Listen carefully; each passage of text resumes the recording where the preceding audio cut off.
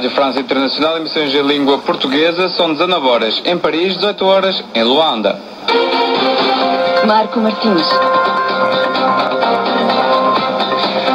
Ao segundo noticiário da RFI, a marcar a atualidade desta quarta-feira, dia 13 de julho. Em Moçambique, Manuel Lolle, ex-membro do Conselho de Estado da Renam, foi levado por supostos homens da polícia e está agora em paradeiro incerto. Começou hoje em Kigali, no Ruanda, a 29 sessão ordinária do Conselho Executivo da União Africana. Estes e outros títulos a desenvolver já a seguir no bloco informativo sob comando técnico de Dusko Sekulic. O jornal começa agora. RFI,